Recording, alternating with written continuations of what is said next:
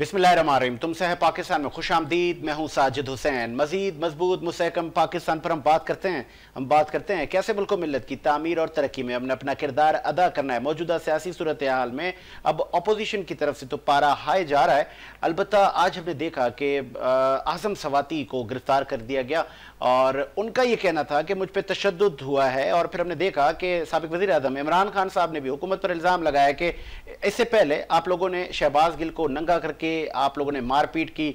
अब बुज़ुर्ग सियासतदान, मेंबर नेशनल असम्बली उसको आप लोगों ने नंगा करके मारपीट की है और उसको इदारे लेकर गए एफ़ आई ए के केसेस से उन पर। इश्तियाल अंगेज तकारीर पर उनको गिरफ़्तार किया गया है।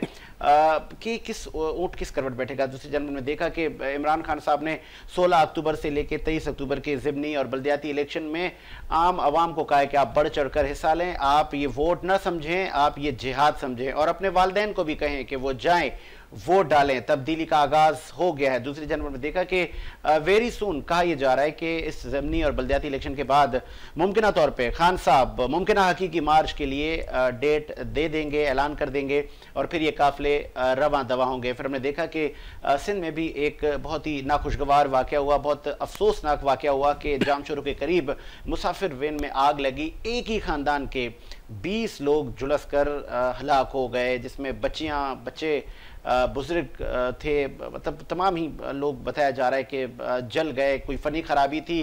कहा यह जा रहा है कि वो सैलाब मुतासरीन थे, जो कि कराची और मुख्तलिफ़ जगहों पर टेंट, सिटी पर क़्याम था उनका। अब उनके आबाई गाँव में पानी थम गया था तो वो वहाँ जा रहे थे, वापसी थी उनकी और रास्ते में ये नाखुशगवार वाक़ पेश गया किसकी गफलत है? इस पर भी हम बात करेंगे और विफाक से लेके सूबों की जो परफॉर्मेंस है इस पर बात करेंगे। स्टूडियो मेरे साथ मौजूद है आपका ताल्लुक पाकिस्तान पीपल्स पार्टी से हुकूमत में आप इतादी हैं आप भी वफाकी हुकूमत का हिस्सा हैं। नईम आवान साहब हमारे साथ मौजूद है। आवान साहब आपका शुक्रिया आपने टाइम दिया। आगाज़ करेंगे सर हकीकी आज़ादी मार्च। मुमकिन तौर पर अभी तक डेट नहीं है। आज शेख रशीद साहब कह रहे हैं कि आप डेट दें। हम लोग बेचैन हैं। आप डेट दें और फिर देखें दमादम मस्कल अंदर। बिस्मिल्लाहिर्रहमानिर्रहीम साजिद भी डेट तो ये कुछ दिन पहले ले, लेने के लिए आए थे और जब आज़ादी मार्च पहले भी इन्होंने कोशिश की कि आज़ादी मार्च करें और आज़ादी मार्च करने के ऊपर हम नहीं समझते कि कोई हमें कोई इख्तलाफात हों या हमें कोई इशू हो जमहूरीत का हौसन है आप तनकीद करें। और एक दायरा कार बना हुआ है एक एस ओ पीज़ बनी हुई है जब भी आप एहतजाज करते हैं कहीं पर आप प्रोटेस्ट रिकॉर्ड करते हैं कहीं जुलूस निकालते हैं जलसा करते हैं तो उसके लिए हुकूमत के साथ एक एग्रीमेंट करते हैं। पिछला एग्रीमेंट की भी इन्होंने वालेशन की और आपने देखा कि इनका अपना जो इनका वज़ीर दाखिला था, सबका वज़ीर दाखिला ने खुद ये आके जो है वो एक स्पीच में कहा कि ये जो है वो आज़ादी मार्च नहीं, ये खूनी मार्च होगा।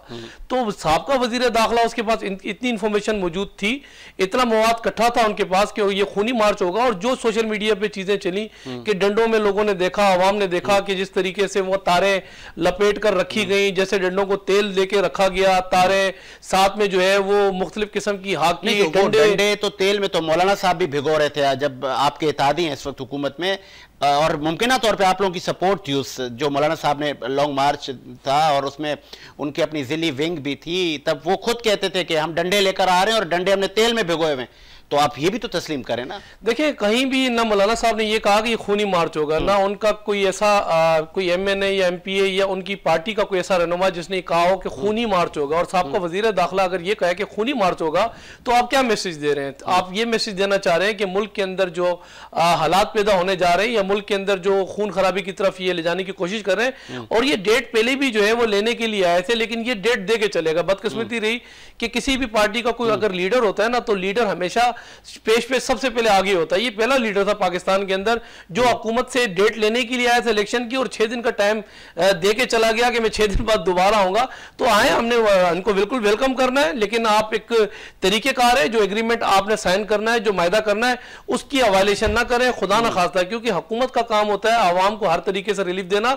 हुकूमत का काम होता है अमलाक को जो नुकसान पहुँचाया जाता है लाइन ऑर्डर की सूरत कंट्रोल करना यह हुकूमत वफ की ज़िम्मेदारी होती है। अब बात ये कि इस्लामाबाद के अंदर माजी भी अगर आप उठाए 126 दिन के जो जलसे इन्होंने किए 126 दिन का इस मुल्क का जो टाइम जिया किया आज ये देखें कि आज इमरान खान साहब खुद अपने मुँह से बात एक्सेप्ट कर रहा है कि मुझे 50 परसेंट भी इख्तियार मिल जाते। तो हम तो पहले भी कह रहे थे ये सिलेक्टेड है। ये तो हम पहले भी कह रहे थे जैसे आरडी सिस्टम बंद किया है। जिस तरीके से इन्होंने इनको सिलेक्टेड जो है वो लेकर आए आज अपने मुँह से एक्सेप्ट कर अब दोबारा मुँह से दोबारा नहीं मावान साहब इस वक्त में ज्वाइन किया है मखदूम मोहसिन आपका ताल्लुक पाकिस्तान तहरीक इंसाफ से मखदूम साहब खुश आमदीद कहेंगे शो में? मोहसिन साहब पहले तो खुश आमदीद आपको कहा पीटीआई के लोगों ने और आपने जीडीए छोड़कर आपने पीटीआई ज्वाइन किया और खान साहब आपके घर पर भी तशरीफ़ लाए। तो जीडीए से पीटीआई में आपका जाना और सिंध की कदावर शख्सियात जा रही है वक्तन ब वक्तन। आपको लगता है कि आपने सही चॉइस की है? देखें साजिद साहब पॉलिटिक्स में टाइमिंग बड़ी इंपॉर्टेंट होती है और हम समझते हैं कि सिंध की जैसे पंजाब की आवाम के पास जैसे खैबर पखतूनखा की आवाम के पास एक मुतबादल प्लेटफॉर्म है या दो चॉइसेस हैं। हम्म। उसी तरह सिंध की आवाम को भी एक मुतबादल की शदीद ज़रूरत थी। और और नेशनल लेवल पे आवाम की खिदमत करने के लिए एक नेशनल प्लेटफॉर्म की ज़रूरत थी इसलिए हमने ये तहरीक कर का आज़म सवाती साहब आज गिरफ़्तार हुए और खान साहब ने उन पर इल्ज़ाम भी लगाया हुकूमत पर कि आप लोगों ने शहबाज गिल के बाद एक बुज़ुर्ग सियासतदान को भी नंगा करके आप लोगों ने उन पर तशद करके उनको गिरफ़्तार किया है। तो मेंबर नेशनल असेंबली थे, बड़ा वो कहते हैं ना कि कोई अच्छी अच्छी अलामत नहीं है, ये अच्छा काम नहीं कर रही हुकूमत, लेकिन इश्तियाल अंगेज तकारीर के उन पर इल्ज़ाम हैं। मोहसिन साहब, पीटीआई के लोगों को क्या हो गया है कि इदारों पर गरज बरस रहे हैं? देखिए साजिद साहब पॉलिटिकल विक्टमाइजेशन को कभी भी हम जस्टिफाई नहीं कर सकते। अगर कोई पॉलिटिकली किसी को विक्टमाइज कर रहा है तो हम सख्त लफ्जों में मजम्मत करते हैं और सियासतदानों को भी अपने बातचीत पे, अपने तकारीर पे नजरसानी करनी चाहिए। देखें इदारे हमारे मुल्क के इदारे हैं। हमें अपनी पार्टी पॉलिसी को भी डिफेंड करना है, लेकिन हमें पाकिस्तान का भी ख्याल रखना है। और हम जब नेशनल लीडरशिप को, चाहे आपकी पार्टी पॉलिसी कुछ भी हो, लेकिन मैं आज भी कहूँगा कि हमें एक नेशनल डायलॉग की ज़रूरत है? क्योंकि जब तक नेशनल डायलॉग नहीं होगा तब तक मुल्क में एक सियासी स्टेबिलिटी वैसे नहीं वैसे मोहसिन साहब रियली अप्रिशिएट कि आप चूँकि आपका घराना भी पॉलिटिकली है और आप मंजे हुए पॉलिटिशियन है खुद भी आप डायलॉग की बात करें और वाकई ये पोजीशन मुल्क की ऐसी है। लेकिन आप अपने सर लीडर को कहें ना खान साहब को वो तो अभी फौज को गिदड़ भी कह रहे हैं कह रहे हैं चौकीदार जब चौकीदारी करना छोड़ देगा तो घर पे तो चोरी होगी।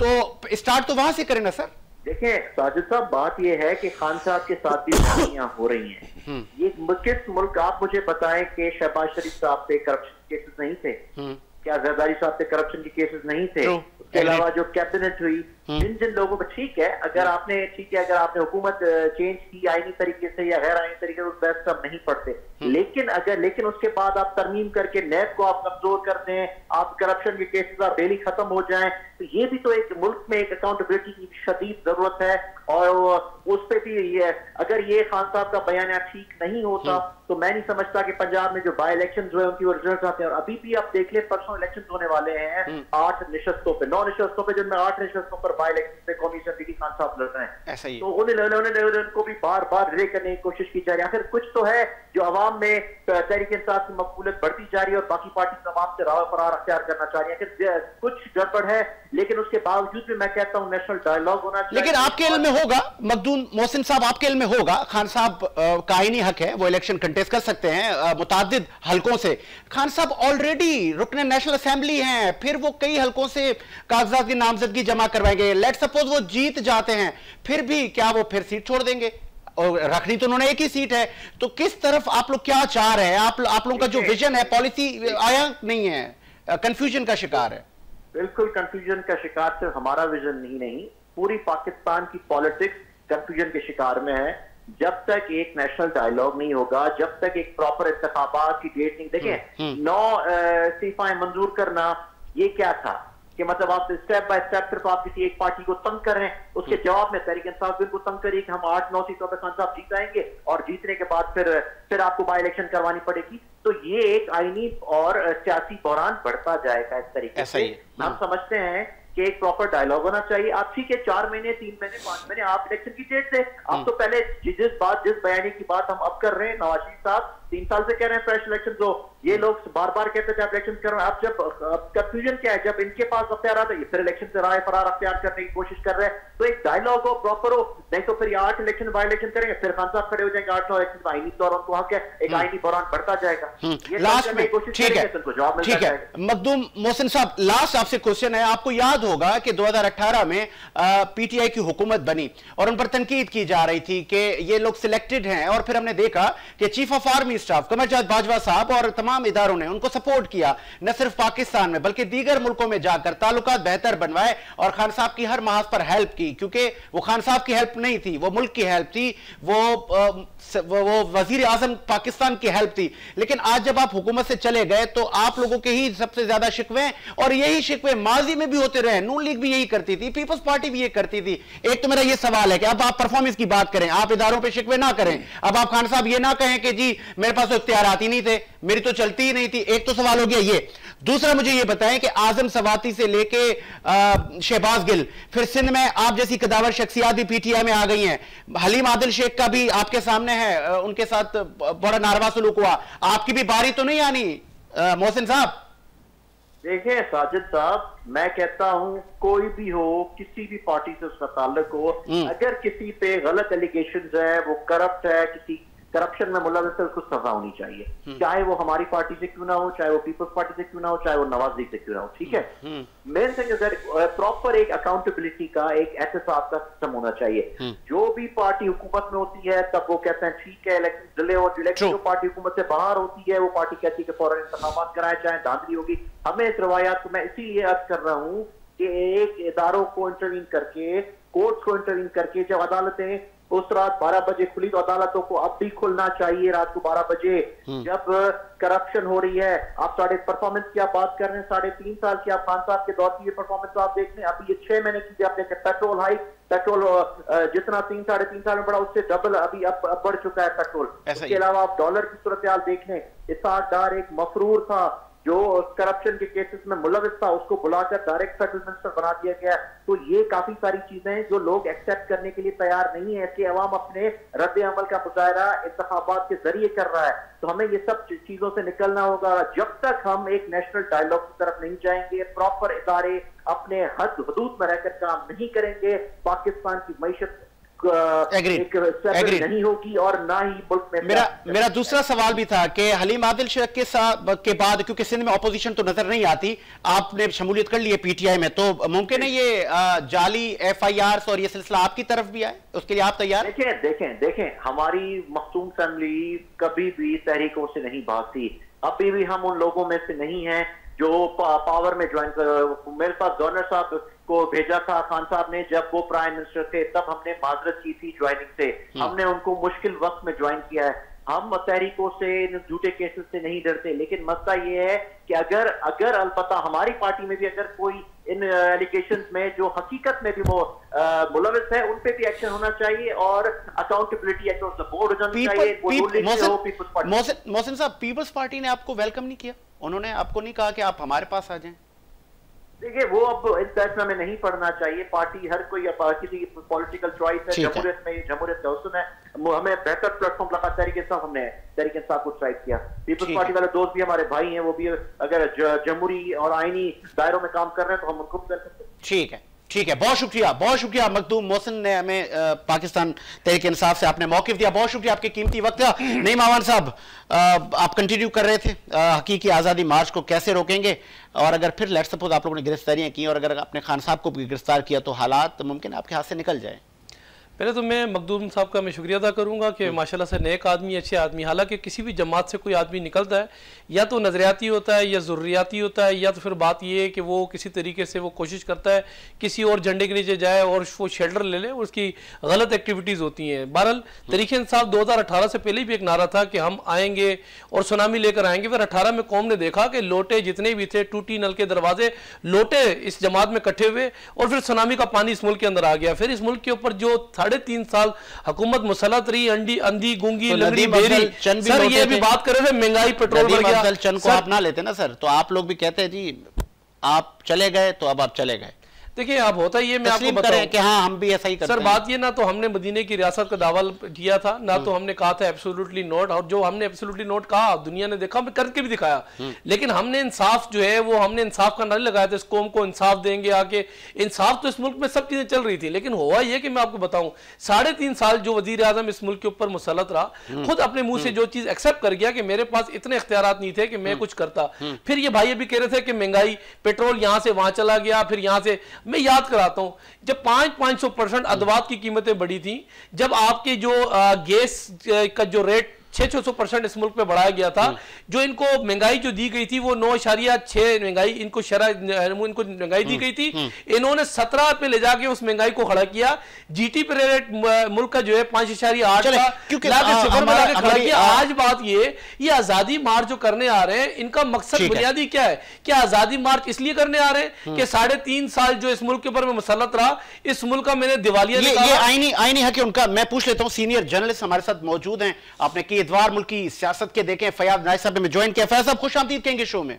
बड़ी मेहरबानी जनाब। चूँकि हकीकी आज़ादी मार्च मुमकिन तौर पे इसकी बाज गश्त है कि होगा। कितने लोग 25 से 30 लाख लोगों की दावा की आ रही है सामने पीटीआई की तरफ़ से। तो फयाज साहब क्या ये दुरुस्त वक्त है और ये मार्च खान साहब का आईनी हक है? तो डी चौक ही क्यों? या आपको लगता है कि खान साहब यूटर्न ले लेंगे? और ये भी बताइएगा इस मार्च से क्या उनको सियासी बेनिफिट होगा या नुकसान होगा?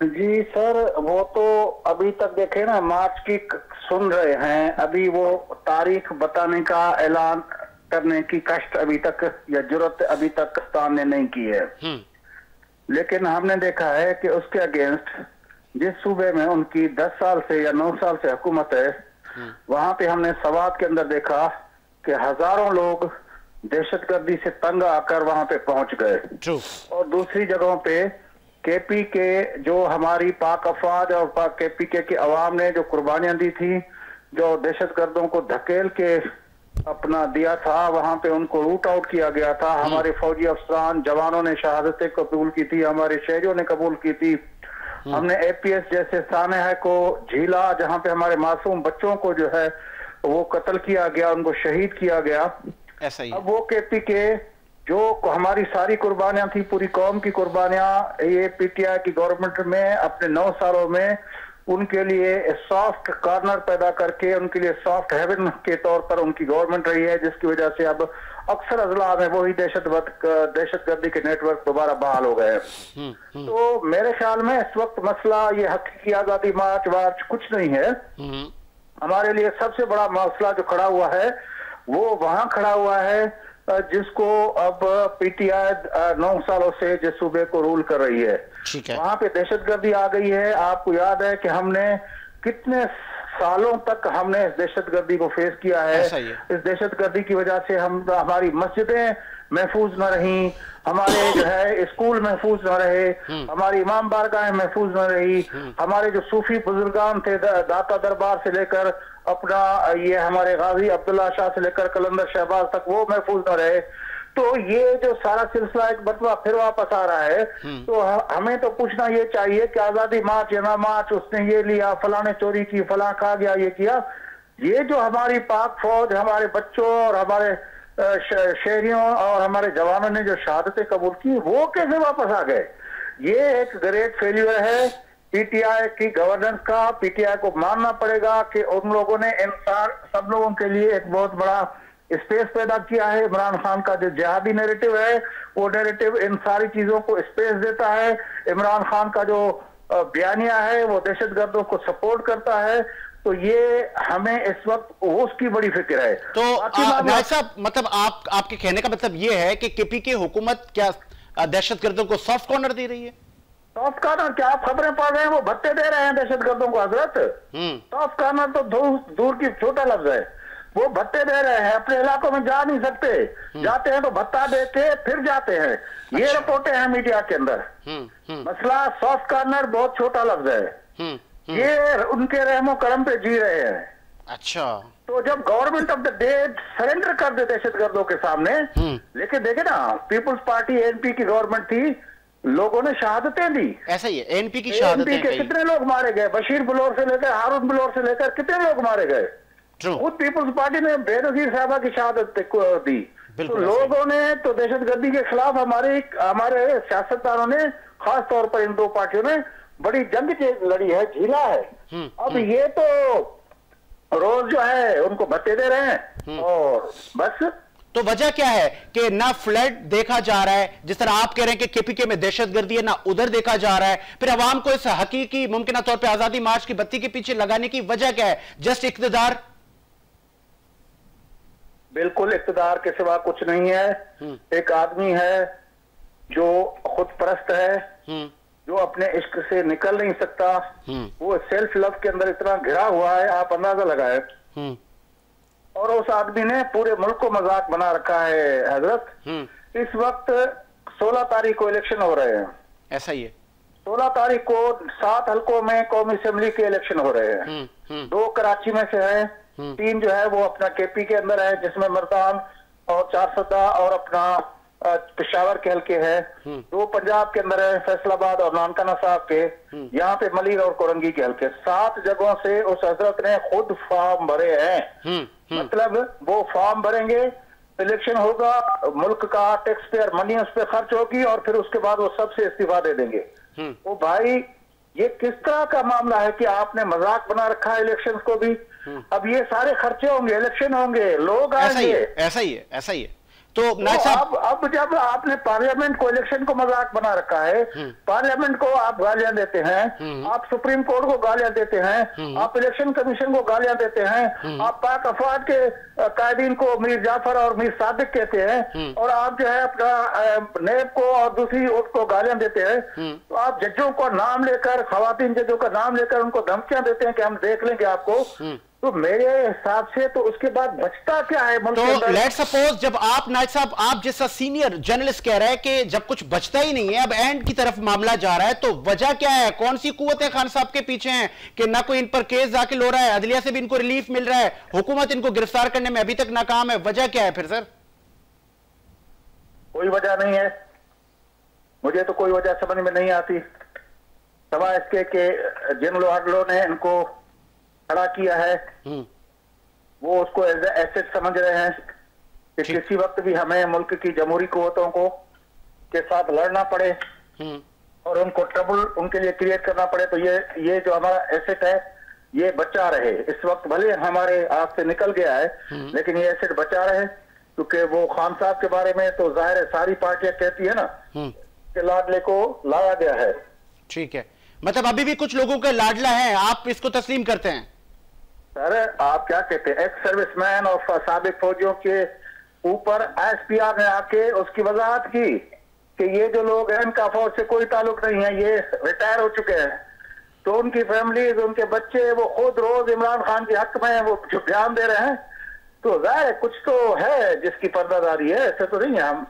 कुछ तो है कुछ तो है जिसकी पर्दादारी है। बहुत शुक्रिया नायज साहब आपने अपना कीमती वक्त दिया। बहुत शुक्रिया फैज नायज ने अपना कीमती वक्त दिया। नईम साहब आप क्या कहेंगे कि नायज साहब ने कहा कुछ तो है जिसकी पर्दादारी है लेकिन कौम का क्या होगा? महँगाई का क्या होगा? मीशत का क्या होगा? ये कहाँ जाए? ये जो मामला चल रहे हैं वफाकी सियासत में तो आप आए पर्दा चाक करें सबके। बता दें सच क्या है झूठ क्या है? देखिए सजिद भी किसी भी मुल्क के अंदर ना लीडर के अंदर जो है वो एहसास अगर हो तो मुल्क जो है सवर जाता है। बात ये है कि इमरान खान साहब के अंदर ना कभी पहले एहसास था नो ना तो अभी उनके अंदर एहसास है। उनका एक ही जो है वो उनको एक फोबिया है पाकिस्तान के अंदर तमाम जमातें एक तरफ़ और मेरी जमात एक तरफ़। मैं नंबर वन हूँ और बाकी जितनी जमातें हैं ये सारे डाकू चोर और ये जितने भी हैं पाकिस्तान के अंदर लुटे जैसे पाए का लीडर गिरफ़्तार हुआ फिर उनको फांसी चढ़ा दिया गया। नवाज़ शरीफ तीन मरतबा का वज़ीर आज़म वो जेल गया। खान साहब मुकदस गाय हैं, या कि आपको लगता है कि वाकई खान साहब एक अवामी लीडर बन चुके हैं? आप इन पे हाथ नहीं डाला जा सकता। नहीं ऐसा नहीं है। बात ये कि ना तो ये कल लीडर था ना ये आज ही लीडर है। जिसको आप लीडर कह रहे हैं हम हम्म। समझते हैं कि लीडर वो होता है। आप पूरी कौम को अपनी पार्टी के लोगों को कह रहा है मैं जे, जेल भरो तारीख का जो है वो आगाज़ करता हूँ। हम्म। सात आगाज़ की बात कर अपनी हम्म। जमानतें कराते फिर रहा है। मतलब अपनी पेशी जमानतें करा रहा है। बेहतर तो ना जमानतें ना कर। फिर आप मैदान के अंदर आप भाईजन दो दो हाथ कर ले आवाम का। बात यह है कि जिन आवाम को लेकर ये रोटों पर लेकर आ रहा है ये गुमराही की तरफ़ आवाम को लेके जा रहा है। बात यह कि आने के बाद करेगा क्या? अभी बड़ी अच्छी बात की कि जो हमारे जर्नलिस्ट जो थे उन्होंने कि केपीके की प्रोग्रेस इनसे पूछ लें कि दस सालों के अंदर बात ये कि इन्होंने किया क्या? आज तो कौन पूछ रही है वो किधर गया? एहतसाब कमीशन जो उन्होंने बनाया जो इनके अपने एम एन एम पी पकड़े गए तो उसको खत्म कर दिया गया आपसे पूछ लेते हैं आपने सिंध में क्या किया है? चले वफाकी सियासत पे बात हो गई इस वक्त हमें ज्वाइन किया है। आप फॉर्मर जज एडवोकेट शायद सोमरा साहब ने ज्वाइन किया है। शायद साहब खुश आमदीद कहेंगे शो में। बहुत शुक्रिया शायद साहब। फ्लड मुतासरीन पर मैं, मैंने आपको तकलीफ़ दी कि आप टाइम दें। हमने देखा कि मुख्तलिफ़ शहरों में टेंट सिटी का क्याम हुआ और फिर हज़ारों लोग वहाँ पे बसने भी आए, उनको अशिया खुर्दनोश से लेके तिबी इमदाद के दावे किए गए। निजी एन जी की तरफ़ से, हुकूमत सिंध की तरफ़ से आज फिर एक नाखुशगवार वाक़ हुआ जामचोरों के करीब जिसमें एक ही घर के बीस अफराद जहाँ भाग हुए। तो ये क्या कोई किसकी नाकामी नाअहली है सोमरो साहब और ये सिर्फ़ और सिर्फ़ हुक्मरानों की है हम्म। और आप देखें उसका सिंपल है मैं वो रीजन भी बता देता हूँ और रास्ता भी बता देता हूँ कि वो कैसे है हम्म। देखिए केन शाह डूब गया केन शाह के ये रवासी थे हम्म। पूरा का पूरा केन शाह हमारे सिंध में जो सबसे ज़्यादा अफेक्टेड एरिया है ठीक है केन शाह है। वो डूब गया और फिर खुद ही सीएम ने और सीएम उनके साथ उनकी कैबिनेट के लोगों ने आन एयर आके मीडिया पे आके बताया कि कुछ जगहों पे हमने कट लगाए और उस पे हम माजरत पाए। तो ये ज़बरदस्ती कट लगाया गया जिससे केन शाह जो है वो डूब गया।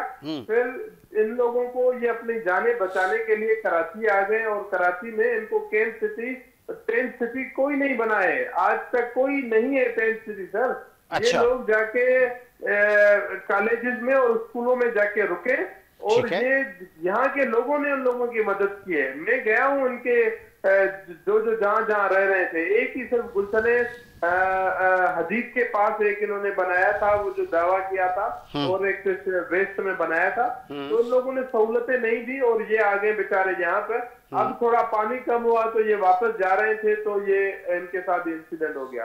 अब देखे आग कैसे लगती है हम दुनिया के मुख्तलिफ़ मुल्कों हमने घूमे हैं आपने भी देखा होगा अगर कोई नहीं भी घूमा है ना तो वो आज आजकल इंटरनेट और सोशल मीडिया पे सारी चीज़ें अवेलेबल हैं। ऐसा ही है। हर गाड़ी में एटलीस्ट दो या तीन दरवाजे होते हैं जो एग्जिट के पब्लिक ट्रांसपोर्ट में होते हैं ना इमरजेंसी तो ये वाहिद मुल्क है हमारा पाकिस्तान जहाँ पर एक ही दरवाज़ा है। हम्म। दूसरा दरवाज़ा इस वजह से मालकान नहीं बनाते कि चार सीटें जो है ना वो कम करनी पड़ेगी। और चार सीटों का कम से कम दो हज़ार किराए तो आठ हज़ार नुकसान हो जाएगा। अब जब मालकान ने ये काम किया तो ये हम्म। हुकूमत की ज़िम्मेदारी है कि हम्म। उनको चेक करे। मोटर व्हीकल एक्ट के तहत सेक्शन 35 के तहत उनको फिटनेस दी जाती है। उनको फिटनेस इशू की जाती है। जो कि ये कोई फिटनेस चेक नहीं करता कोई हुकूमत के लोग जो है और जो ये की मोटर रजिस्ट्रेशन एक्ट वाले हैं और ये मोटरवे वाले हैं हम्म। ये कोई इनको चेक नहीं करते पाँच सौ हज़ार के चक्कर में जो है ना इतनी जानों को नुकसान करा दिया। अच्छा ये, ये सारी ज़िम्मेदारी टोटल हुकूमत की है सर। अच्छा शायद साहब इंट्रा सिटी ट्रांसपोर्ट भी है तो ये सिर्फ़ हुकूमत को आप इसका ब्लेम देंगे? क्योंकि पंजाब केपी के दूसरे सूबों से भी यहाँ पे गाड़ियाँ आती हैं और ये ये जो आप बता रहे हैं वाकई ऐसा ही है कि सिर्फ़ एक ही गेट है तो ये विफाक की हुकूमत की नाकामी नहीं है सर सर ये ये ट्रांसपोर्ट जो है वो सिंध हुकूमत का ये एटीन अमेंडमेंट के बाद जो है वो मिनिस्ट्री सिंध हुकूमत की है हम्म। अब अगर आप ये ब्लेम करें ना कि सर वो जो सवाब से गाड़ी आती है हम्म। वो जो है आप इनको कैसे ब्लेम दें तो सर ये हम अगर पर्टिकुलरली बात करें कि हम मानते हैं कि भाई सवाब की आपके हम्म। पास फिटनेस इशू आप नहीं करेंगे। सवाब की जो है ना वो जो गाड़ी होगी वो आपके जुरिस्डिक्शन में आप उनका फिटनेस को रिजेक्ट या ठीक है। नहीं करते। जनाब आपकी ये गाड़ी है जो कि कराची से केन शाह की तरफ़ जा रही है। ये इनका रूट था कराची से लाड़काना लाड़काना से कराची। ठीक है। तो आप आप शाह साहब शाह साहब आप आप आप आप कॉल पे रहे ना। मैं चाह रहा हूँ कि सिंध हुकूमत के नुमाइंदे जवाब भी तो दें। सर आपने सुना। कि शाह साहब ने कहा कि कहाँ आप सो रहे हैं? चार हज़ार रुपये किराया बचा के लाखों, करोड़ों अरबों की जाने जा रही हैं। तो यहाँ पे नज़र नहीं है। अवेश कादिर शाह थे आपके ट्रांसपोर्ट के मिनिस्टर। सर मैं बड़ा हैरान गुन हूँ उनकी बात से क्योंकि सत्तर और वो टेंट सिटी कहाँ है दूसरा इल्ज़ाम भी लगा कि कोई टेंट सिटी नहीं है बस स्कूलों में आके लोग रह रहे हैं बात ये कि ये सत्तर की दिहाई से पहले की बातें कर रहे हैं हम पुराने बसें देते देखते थे वो फोर के टू के डब्ल्यू ग्यारह दो दरवाजे हुआ करते थे शायद उसके बाद जो पूरी दुनिया के अंदर एक रवाज है आप दुनिया के अंदर आप कहीं चले जाएँ हम्म। तो आप जितनी भी बसेज हैं पहली हम्म। बात ये रही कि इनके ये यहाँ तैयार नहीं होते ये बाहर से आती हैं बसें हम्म। ये प्राइवेट ट्रांसपोर्ट जितनी भी है वो यहाँ कोई कोई फैक्ट्री कंपनी नहीं है जो उसको मेंटेन करती हो चाहे वो ग्रीन लाइन आप ले लें चाहे वो हम दीगर जो यहाँ पहले तो हमारे पे इल्ज़ाम ये था ना ट्रांसपोर्ट ही नहीं आज तो अल्लाह का शुक्र है पूरे कराची के अंदर कोई ऊपर से सफ़र करे कोई दाएँ से कोई बाजू से इतनी ट्रांसपोर्ट कराची को अलहमद दे दी है देखिए हादसा पूरी दुनिया के अंदर होते हैं। हम्म। दुनिया के अंदर अल्लाह पाक ने कुरान पाक ने कहा है कि बात ही कि जुलस के मर जाना उसको हम जो है वो आप शहीद कहेंगे। हम्म। डूब के मर जाना उसको शहीद कहेंगे। करंट लग के मर जाना उसको शहीद करेंगे शहीद हम्म। कहेंगे। पेट की तकलीफ़ में ऐसी बहुत सारी चीज़ें जो शादात के जो है शहीदों के दर्जात देती है। अब एक हादसा हुआ है। उस हादसे के अंदर हमने भी इंक्वायरी जो है उसके लिए कमेटी बनाई है। हम देखें उसके अंदर कि खुदा ना खास्ता अगर टेक्निकल तौर पे उस फैक्ट्री का उस कंपनी का जहाँ से वो ब्रांड था हम्म। या उनके ओनर्स का हम्म। अगर कहीं पर कोताही है तो ऐसा नहीं है कि उसके उनके खिलाफ एक्शन नहीं लिया जाएगा। हम्म। बिल्कुल एक्शन लिया जाएगा। है सर? बिल्कुल दूसरा ये सवाल था कि टेंट सिटी कहाँ है? अभी क्योंकि बहुत बड़ी मार्केटिंग की है सिंध हुकूमत ने कि हमने बहुत जगहों पे टेंट सिटी बनाए हैं। और कुछ तस्वीर भी आप लोगों ने शाया की है कि ये देखें तो एक हज़ार या पाँच सौ खेमे लगाए हैं मुख्तलिफ़ जगहों पर आपने। वो टेंट सिटी का है। पहले तो यहाँ कराची में कुछ लोगों हम्म। ने कुछ पार्टी ऐसी पार्टियाँ जो गुमराह करती थी और मेरा ख्याल मेरे भाई ने भी वही आज मौकव रखा। हम्म। पहले इल्ज़ाम था जो लोग आ रहे हैं ना ये जाएँगे नहीं। हम्म। नहीं वो किसी पार्टी के नहीं है वो फॉर्मर जज हैं। मेरा ख्याल पहले वो किसी जमात के अंदर भी थे आपके काफ लीग के अंदर या फिर ये किसी जमात का ऐसा थे वारल कहने का मतलब ये कि टेंट सिटी इनको तो नज़र आ नहीं रही कैमरा हम्म। उठाएँ। मैं आपको लेके जाता हूँ मलिर के अंदर टेंट सिटी और बात ये कि किस जगह पे मलिर में किस जगह पे टेंट सिटी है सर? सर टेंट सिटी अगर आप मलिर के अंदर हम्म। आप स्टील टाउन जो है क्रॉस करते हैं ना हम्म। तो क्रॉस करके लेफ़्ट हैंड के ऊपर आप देख लें जिसके ऊपर अभी एक बड़ा मज़ाक किया एक लोगों ने सोशल मीडिया के ऊपर भी किसी ने मज़ाक कर दी कि सांप निकला है टेंट सिटी के अंदर। चलो मज़ाक बन गया लेकिन टेंट सिटी तो हमको नज़र आया कि बड़ी टेंट सिटी साजिद जोकियो साहब ने लगाई है। ठीक है। साजिद जोकियो साहब की टेंट सिटी के अंदर वहाँ अदवाद भी मिल रही है। लोगों को खाने पीने के जो है वो हर तरीके के लवाजमात भी दिए हम्म। जा रहे हैं। उनको हर तरीके से जो उनको चीज़ें प्रोवाइड की जाती हैं दी जा रही हैं। लेकिन ये परमिट नहीं है। इनको मूव करना है इनको वापस लेके जाना है। इनकी जो इस वक्त सलाब जदगान हम्म। जो यहाँ मूव करके आए जिनकी जमीनों पे पानी है जमीनों से निकालेंगे पानी इंशाल्लाह उनको घर बना के देंगे। शायद शायद जी आप गालबन सुन रहे होंगे। आपका टेक क्या आप कॉल पे मौजूद हैं? शायद सुमरो सर? जी जी जी जी, जी आपका टेक सर आप गालबन पाकिस्तान पीपल्स पार्टी का मौके आपने सुना मैं चाहूँगा आप रिस्पॉन्ड करें। सर आ, आ, मैं नहीं जानता हूँ ये मेरे भाई साहब कौन है? हम्म। और आ, मगर मैं इनकी थोड़ी इलम में इजाफा करता चलूँ हम्म। कि सर इसमें कोई शक नहीं है कि ये गाड़ियाँ बाहर से आती हैं मगर उनकी फिटनेस को चेक करना ये आपकी ज़िम्मेदारी है। अब आप कह रहे हैं कि आपने कमेटी बना दी है और कमेटी बनाने में क्या होगा? अठारह बीस लोग चले गए उनकी जानों का नुकसान हो गया। कोई ये पहली मरतबा हुआ कि अचानक हादसा हो गया हम्म। कि भाई ये कभी हुआ ही नहीं है। सर हर दूसरे तीसरे महीने के बाद जो है ना इस नूरियाबाद पे सुपर हाईवे पे आग लग जाती है और गाड़ियाँ जल जाती है और लोग मर जाते हैं। ये आपकी ज़िम्मेदारी है। अगर दो गाड़ियाँ ये अभी आपको फोर के और उनका ये ज़िक्र कर रहे हैं ना सर अभी ये जो चाइना से इन्होंने गाड़ियाँ मंगवाई है इनमें देखें तो चार चार दरवाजे हैं। आप देखें ये आपको खुद ही बताएँगे। हम्म। और ये ये बहुत अच्छी गाड़ियाँ हैं। जो जो इन्होंने अच्छा काम किया उसकी तो हम कदर करते हैं। हम्म। मगर ये जो ट्रांसपोर्ट है यहाँ पे सुपर हाईवे पे जो गाड़ियाँ चलती है जो सिंध में आपकी गाड़ियाँ चलती है उनकी ज़िम्मेदारी किसकी है? आप एक बात कह के कहेंगे भाई हमने तो गाड़ी मंगवा ली हमने आपका अपना फ़र्ज़ पूरा कर लिया। आपका फ़र्ज़ ये नहीं है। आपका फ़र्ज़ इन पे इन लोगों की ये फिटनेस चेक करना भी है। आपका फ़र्ज़ जो है वो गाड़ियों की स्पीड चेक करना भी जो है ना, वो आप लोगों का फ़र्ज़ है। उनकी उनकी रजिस्ट्रेशन चेक करना आपका फ़र्ज़ है। 90 परसेंट ये गाड़ियाँ जो है ना, सर, ये कस्टम के बगैर होती है। 90 परसेंट गाड़ियों की जो है ना रूट परमिट नहीं होती है। 90 परसेंट गाड़ियों के ड्राइवर जो है ना, वो नशे की हालत में पाए जाते हैं। चंद दिन पहले आपने वीडियो देखी थी, वो नशे में जो है ना, वो गाड़ी चला रहे थे, जिस पर एक्शन भी हुआ। फिर आ जाते हैं हम टेंट सिटी की बात पे। सर ये टेंट सिटी मैंने आपको बताया कि दो जगहों पे है। हम्म। और दो जगहों पे कौन सा है? वो टेंट सिटी क्या है? वो सिर्फ़ नाम पे टेंट सिटी है सर। वो क्या आपने कितनी हर डेली के अखबार में मैं देखता हूँ कि टेंट सिटी में कहा जाता है कि सर ये जो यहाँ पे लोग हैं वो गैसों की दवाइयाँ ना मिलने की वजह से बच्चे मर रहे हैं। हर जगह ये हो रहा है। हाँ। आपने क्या सहूलियात दी? उनको किस जगह शिफ्ट किया? ये देखो ये प्राइवेट बस थी। अगर आप ये कहते हैं कि सर लोगों को वापस भी लेके जाना था एक तो ये मेरा स्टेटमेंट कभी नहीं रहा है कि ये लोग वापस नहीं जाएँगे। ये भाई साहब ने कुछ गलत फहमी है। ये कभी भी मेरा स्टेटमेंट नहीं रहा है कि भाई ये लोग जो आ रहे हैं ये वापस नहीं जाएँगे। इन लोगों का इन लोगों के वहाँ पे अभाव ज़्यादा फैमिलीज़ है। ये यकीन वापस जाएँगे। मगर आपने सहूलतें क्या दी? हम्म। आपने खुद ही पानी में डबोया उधर केन शाह खुद आपके सीएम का स्टेटमेंट है मेरा स्टेटमेंट नहीं है। आपके मिनिस्टर का स्टेटमेंट है ये मेरा स्टेटमेंट नहीं है कि आप लोगों ने खुद जो है ना वो मंत्र को कट लगाए। जब आपने कट लगा के उनके ज़बरदस्ती घर ढुकोए तो, तो शायद शायद ये भी ये भी शायद ये भी आप वाजे कर देना। तो केन शाह के लोगों के या उस शहर के साथ कोई पाकिस्तान पीपल्स पार्टी की या सीएम साहब की कोई पर्सनल कोई दुश्मनी तो नहीं थी? या कि उन्होंने किसी ज़मीन को सेव किया? नहीं होता है साजिद साहब। वहाँ पे जमीनी हकायक कुछ रहे हैं। ये ऐसी दुश्मनी नहीं होती है।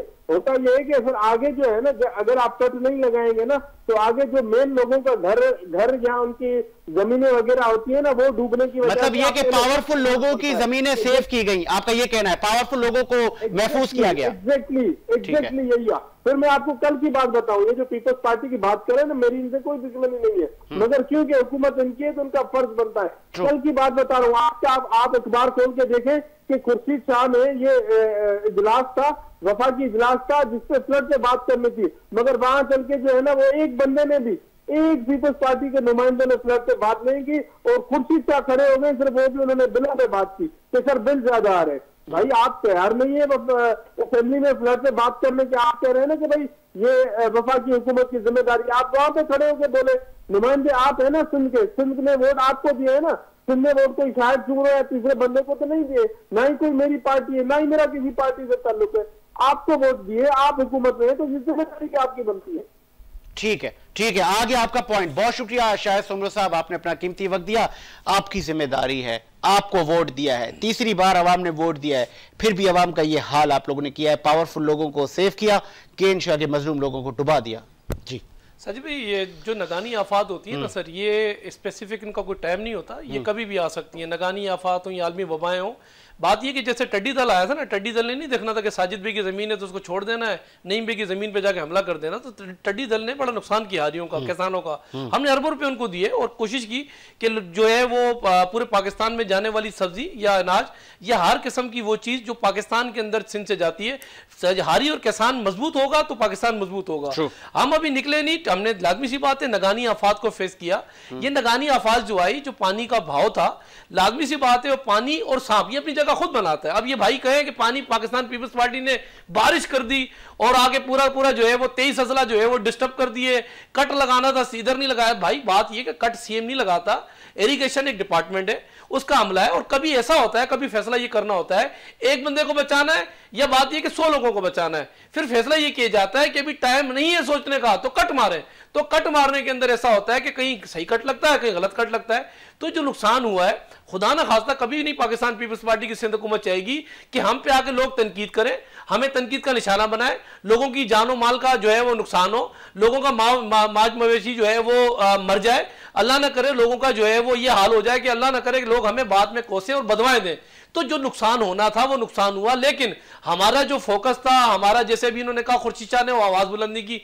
भाई, पूरी दुनिया के अंदर, पूरी दुनिया में हमारे जो चेयरमैन साहब हैं इस वक्त पूरी दुनिया में जो है वो सलाब जदगान के ऊपर सलाब के ऊपर वायद एक बिलावल भुट्टो साहब है पूरी दुनिया को बता रहे हैं कि इस वक्त यूनाइटेड नेशन के अंदर बातचीत हो रही है कि सिंध के अंदर जो सैलाब है तमाम ममालिक को एक होने की ज़रूरत है। अगर कोई फॉरम है तो फॉरम भी बात की जाएगी ना। ठीक है आप तनकीद करते हैं लेकिन बात यह कि जो चीज़ें उन्होंने हाईलाइट की है हम इनको चीज़ों को हाईलाइट को जो चीज़ें हम उनको उनको जो है अपने पास लेकर भी जाएँगे हम्म। और कोशिश करेंगे कि मजीद बेहतरी की तरफ़ लेके जाए लेकिन इस वक्त यकजहती की ज़रूरत है। अब इस वक्त सलाब जदगान यहाँ जो सलाब सलाब जदगान के अंदर जो बलूचिस्तान का सूरत हाल है जो सिंध की सूरत हाल है जो के पी के के अंदर जो है मालन जब्बा की वहाँ सवाद की जो पोजीशन है हम्म, जो सिक्योरिटी हम्म। के जो हालात हैं जो के पी के के अंदर जो है वो तलबान निकल निकल के एक तलबान खान हमें मिल गया पाकिस्तान को खे के असम्बली के अंदर खड़े होकर कहा के उसामा बिन लादन तो शहीद है हम्म। और बैठ के टीटीपी के साथ ये मायदे करता फिर रहा था भूल गया जो ये शहादत सत्तर हज़ार हमारे फौजियों ने शहादतें दी हैं यहाँ हमारे लीडरान ने शहादतें दी हैं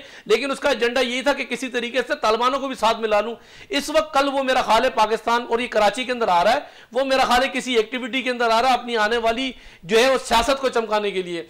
कितना अच्छा हो कि इमरान खान साहब आए सलाब जदगान के साथ वो खड़ा हो वहाँ आया था पिछले दिनों सखर के अंदर। एक बंदे को रोटी दे रहा है पचास कैमरे लगाए बल्कि 200 वीडियो कैमरे लगा के वीडियो बना के और वहाँ से नवाब साहब चले गए।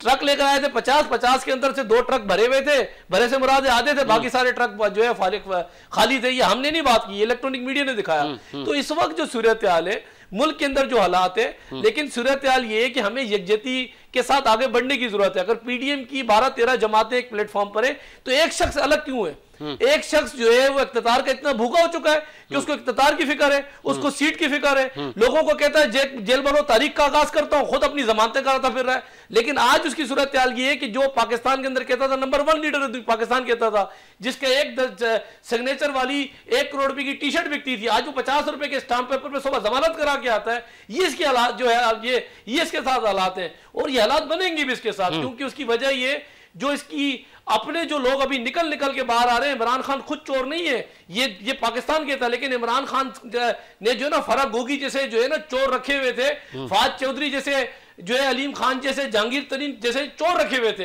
हम्म। उन चोरों का काम यही था कि पैसा इकट्ठा करें और किसी तरीके से बात की कि तरीके इंसाफ का अकाउंट भरे आज हम्म। तरीके इंसाफ के पास ये बड़े बड़े जलसे करने के पैसे कहाँ से आ रहे हैं? हम्म। रैलियाँ निकालने के पैसे कहाँ से आ रहे हैं? हम्म। आज जो है वो हेलीकॉप्टर में सफ़र सवारी करने वाला इमरान खान साहब पूरी दुनिया नहीं आता पूरी दुनिया सर नहीं मावान साहब पूरी दुनिया खान साहब को एक टेलीथोन पर करोड़ों डॉलर देती है।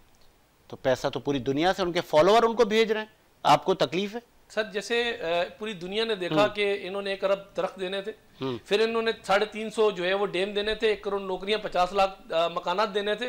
कौम ने देख लिया मिल गए हम्म। ऐसे ही वो एक कॉल के ऊपर जो है ना वो पैसा भी इनके अकाउंट में आ गया हम्म। भाई ये सब बेवकूफ़ बनाने का एक तरीकेकार है आवाम को गुमराह करने का तरीकेकार है कभी मदीने की रियासत कभी एब्सोल्युटली नॉट कभी बयानिया जो है एंटी स्टेब्लिशमेंट का बयानिया कभी आप मसला फात के खिलाफ जो है आगे एड स्पीचेस करते कभी अदलिया के खिलाफ आप जो है वो उल्टी सीधी बकवास करते हम्म। कभी आते हैं इलेक्शन कमीशन के साथ आप आके जो है उनको कहते हैं गले से उनको पकड़ लें कभी चौकीदार तो कभी जो है वो ऐसे ऐसे वो अल्फाज इख्तियार कर दिए गए इस मुल्क के अंदर कि आज हम यकीन करें अपने बच्चों को टेलीविज़न नहीं दिखाते क्योंकि टेलीफोन टेलीविज़न के ऊपर जिस किस्म की गुफ्तु इनकी तरफ़ से होती है हम्म। ये तो अखलाकी ज़रूरत ये नहीं कर सकते कि ये फ़र्क होगी के लिए जो है वो कोई बयानिया दे दें जो इनकी ऐसे तो नहीं है कि आप अपने भाइयों को अपने बेटों को खान साहब की स्पीच यूँ नहीं दिखाते कि वो खान साहब के फ़ैन ना बन जाए?